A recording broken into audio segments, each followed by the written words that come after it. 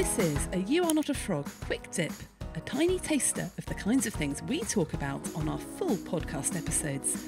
I've chosen today's topic to give you a helpful boost in the time it takes to have a cup of tea, so you can return to whatever else you're up to, feeling energised and inspired.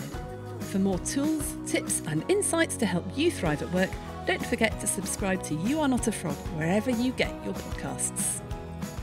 In this quick dip episode, I'm going to talk about how to have more impact with less effort. And I'm going to think about how we can actually prioritize our work so we're doing the things that are really important and get us where we want to be much, much quicker. I don't know about you, but I have grown up thinking that if something's worth doing, you've got to slog away at it. And things take a lot of hard work and a lot of time. And a lot of us have this inbuilt perfectionism as everything has to be absolutely brilliant and we can't possibly make a mistake. But the problem is we're coming up against is that there is just too much to do. There are too many opportunities, there's too much demands on our time, not enough resources, and we're going to have to prioritize what we spend our focus and our attention on. I always think our focus is a bit like a garden hose. You can get the nozzle and direct it to one area, and it will be really effective at shifting sand or shifting dirt off an area of a patio if you've just directed that nozzle. If you've got your garden hose on a sort of sprinkler where you go and water your flowers and you don't want it to have a lot of power, so same amount of water but spraying out all sorts of different holes, then there's no way you're going to be able to shift a little bit of dirt off the patio. And our time, our attention, our focus is just like that. If we're doing too many different things, we will be completely ineffective and have a really, really low impact. So, the only way to be successful, to have an impact, is to limit our focus onto a few things.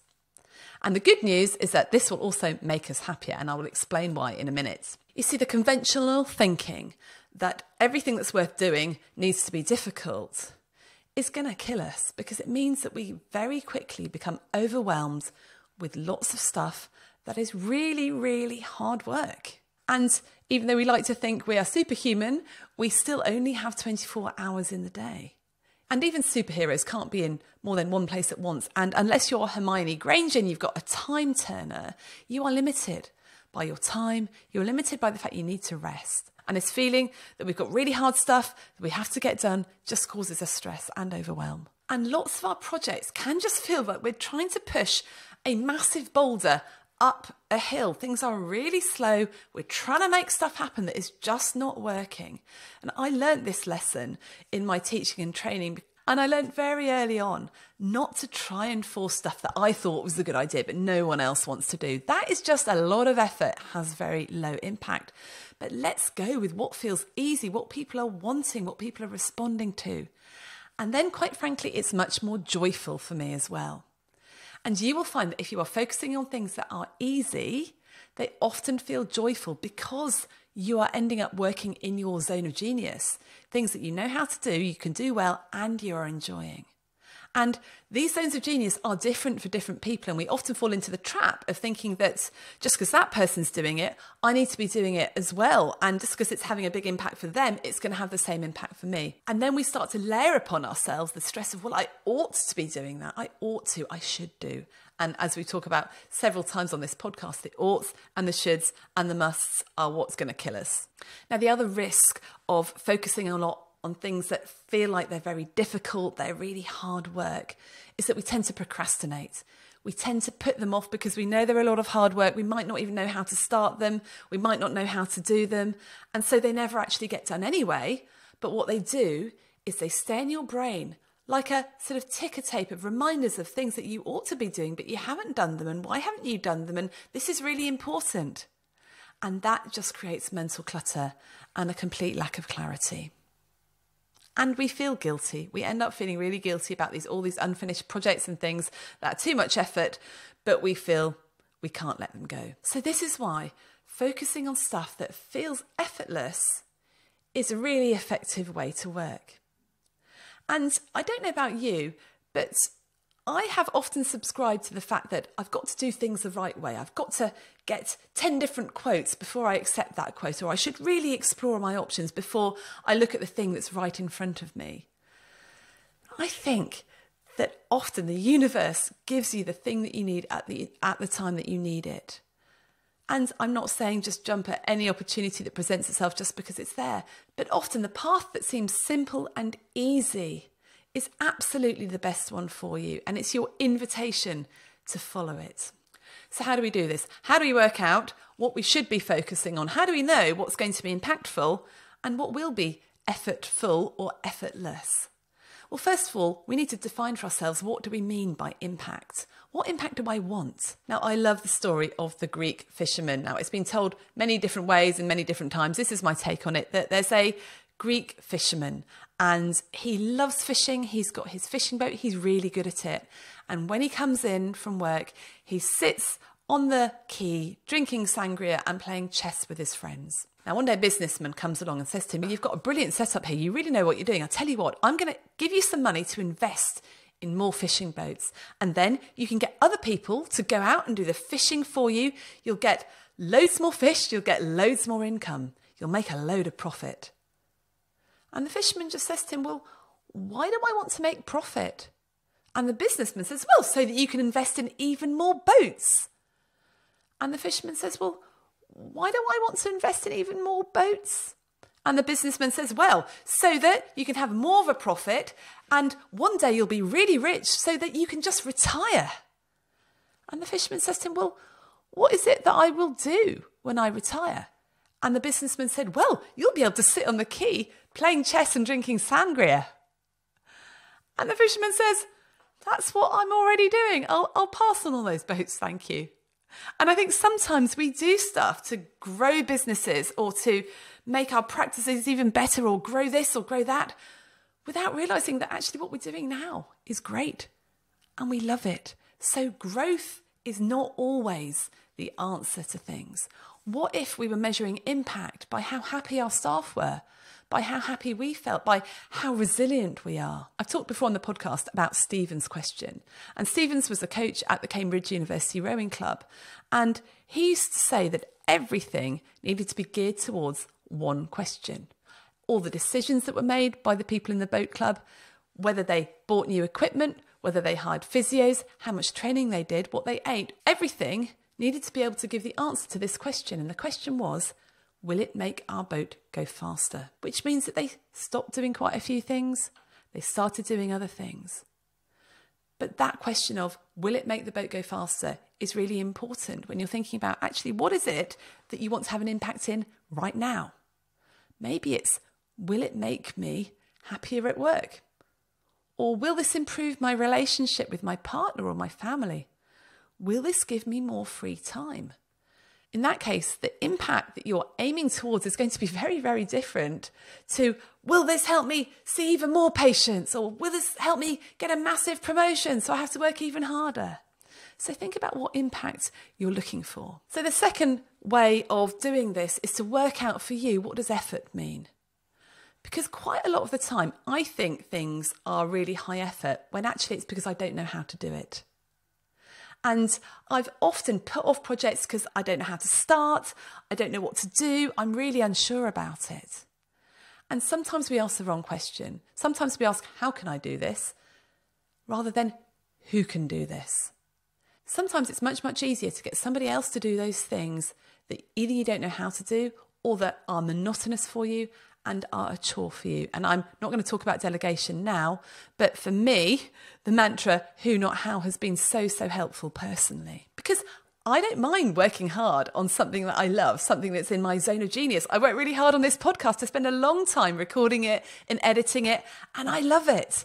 It's effortful. But it feels to me quite effortless because I love it, because I know I know what I'm doing, and because I have delegated some of the bits that I don't know how to do very well to other people. And there's a whole team behind the processing of these podcast episodes. So if something is high effort to you just because you don't know how to do it or you don't like doing it, then think about how you can get somebody else to do it. And then what you can do is put all of this into an effort impact matrix. And I love this, and it's been really helpful for me in working out what I should focus my attention on.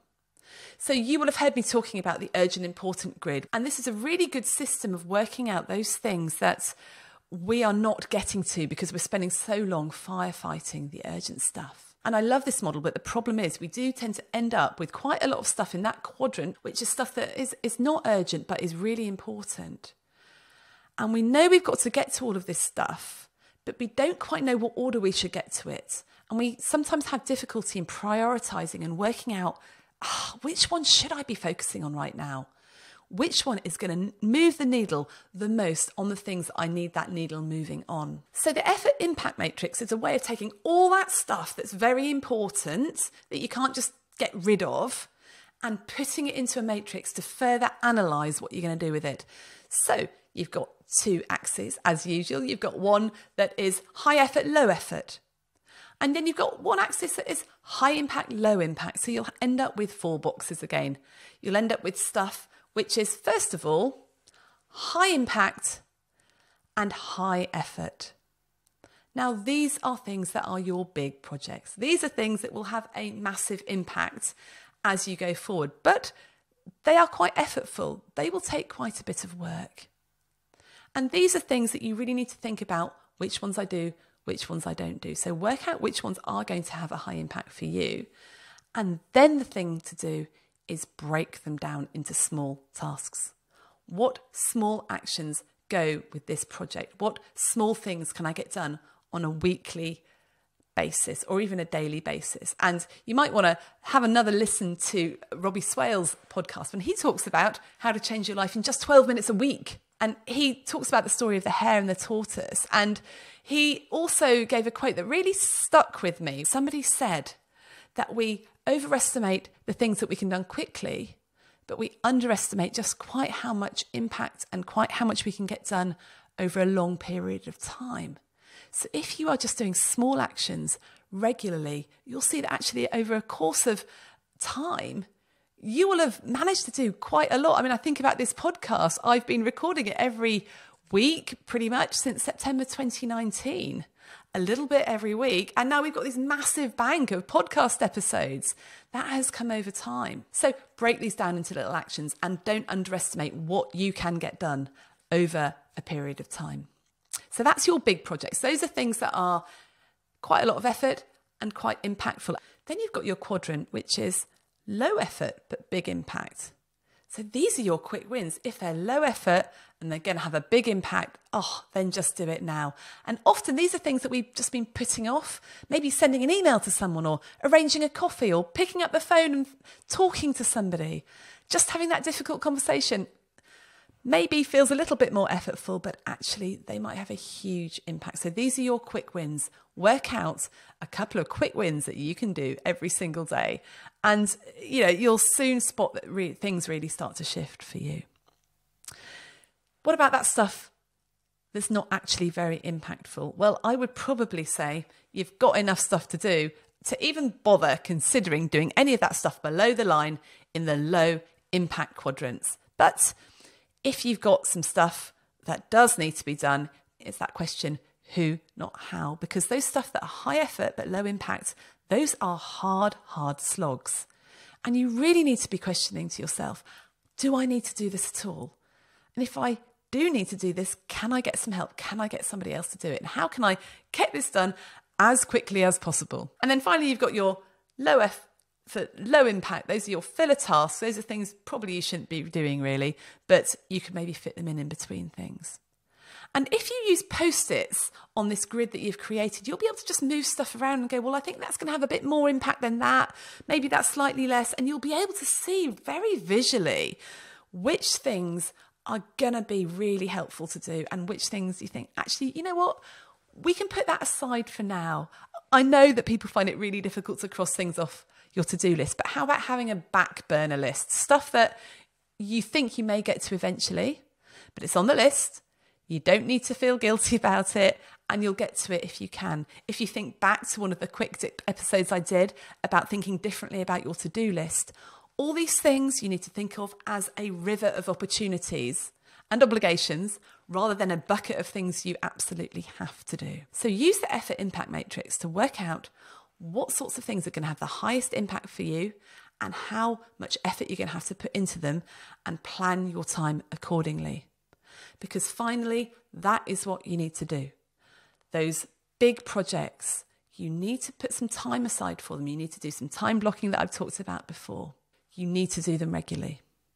So, once again, we have put this all into our You Are Not a Frog workbook for this episode. We'll give you an effort impact matrix which you can use to work out what sort of things you need to be putting your full focus on, what sort of things you need to be prioritizing. So, work through that.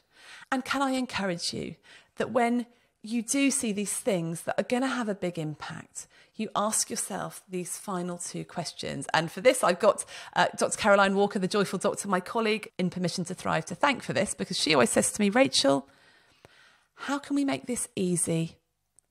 And how can we make this joyful? And if you look at stuff from that point of view, easy and joyful, then you'll do a better job and you'll be happier at work, which we know will make you more productive, will make you successful. If you want to find out more about this, lots and lots of people have been writing about this. So check out the book Effortless by Greg McKeown. Download the workbook so you can do this for yourself and share this episode with a friend if it's been helpful. See you in another episode. See you in another episode. See you in another